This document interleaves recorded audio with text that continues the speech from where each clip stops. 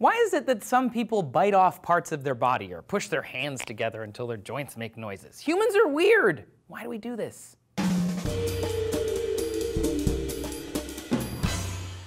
Yo, nail biters, Trace here for D News. What's up?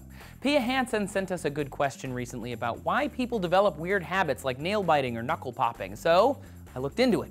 Firstly, nail biting is a bad habit. But unless it becomes extreme, it's probably not harmful. If it's a regular pathological thing, it can become what's called pathological grooming, which is uncontrolled, extreme grooming behaviors like nail biting, skin picking, or hair pulling.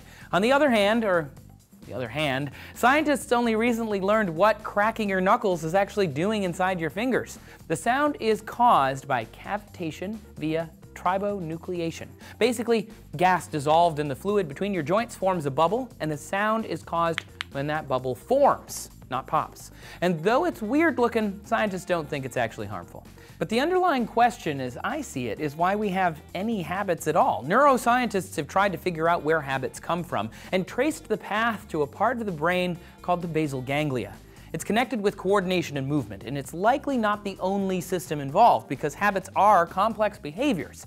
But numerous studies keep coming back to the old BG. From a psychological perspective, a habit needs a few things to form a trigger, an action, and a reward. Together, they form a habit loop. The habit loop is built on the idea that at some point, you got a reward for doing the action in the first place. For example, let's say you have a hangnail. It hurts, you pick at it, and it hurts some more, so you pull it out with your teeth. Boom, no more hangnail, no more pain. Trigger, action, reward. Simple behavioral training. Finger cracking could be the same thing, though the reward is a little more nebulous. Dr. Rachel Vreeman told NBC News it could just be a physical release, or maybe just feels nice, or maybe you just like the noise. How that one moment of pleasure turns into a habit is through repetition. If you bite a hangnail enough times, you'll stop thinking about biting your hangnails, and then you have a habit. Our brain is lazy, so if we can offload a task to our subconscious, we're going to do that. And once a habit is established, we stop thinking about it, like literally. We stop sending that behavioral activity from the basal ganglia to the prefrontal cortex. The PFC is where we make decisions, so if we're not engaging that part of our brain, we are literally not thinking about it before we do it. Commonly, this can take from 15 to 254 days of training.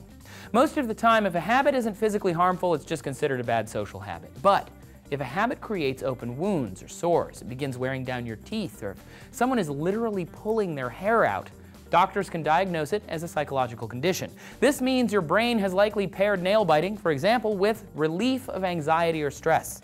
Damaging compulsive nail biting is called onychophagia, and it's referred to as a stress removal habit by the Indian Journal of Dental Research and appears on the spectrum of obsessive compulsive disorders in the DSM-5. Why some people pair stress relief with a habit isn't entirely clear, but a 1970s twin study found there may be a genetic link. Nail biting was practiced by nearly one-third of 338 pairs of twins, and more in girls than in boys. It was more common in twins who came from the same zygote. Habits can be broken, but it takes work. You simply have to remind yourself to run your actions back through your prefrontal cortex. That's why your mom put bandages or hot sauce on your fingers to keep you from biting your nails. It reminded your brain, hey, pay attention, you can kick this habit. I don't bite my nails, but I do shake my leg a lot, like a lot, a lot. But why do we fidget? What's up with that? Luckily, some handsome devil looked into it over here. 130 years ago, people fidgeted.